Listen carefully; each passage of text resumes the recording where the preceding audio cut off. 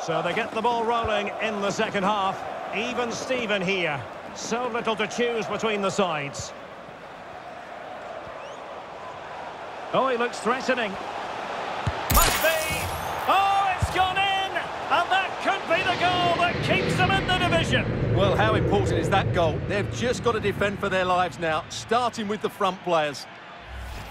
Well, here's the replay. Watch how he goes past his man with such ease, and it's just a change of pace. But